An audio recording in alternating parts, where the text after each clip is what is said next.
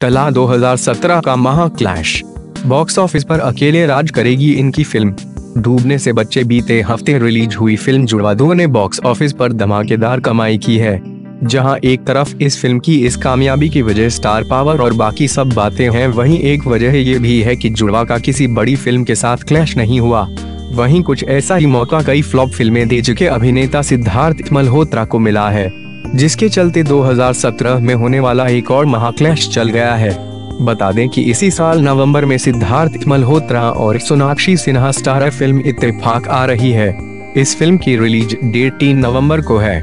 वहीं इसी डेट पर एक और बड़ी फ़िल्म रिलीज़ की जा रही था, जिसके चलते महाक्लैश की स्थिति तो बन ही रही थी। वहीं इसके साथ सिद्धार्थ की एक और फ़िल्म खतरे में थी, हालाँकि अब सिद्धार्थ और सोना को राहत की सांस मिली होगी। आगे जाने पूरी कहानी और जाने कैसे टल्ला ये महाक्लैश और कौन सी फ़िल्म बदल लिया अपना रास्ता और आगे बढ़ा दी रिलीज़ डेट।